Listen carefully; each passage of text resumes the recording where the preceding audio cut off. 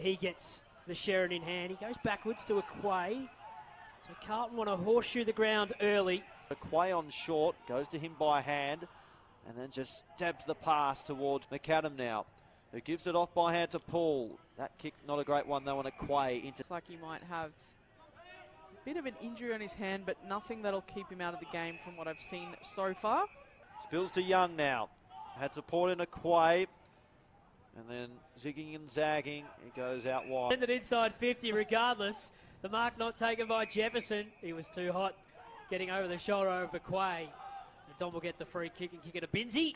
It's McAdam in a one-on-one. Brilliant pick up from Shane. Oh. Brilliant smother from Akuei.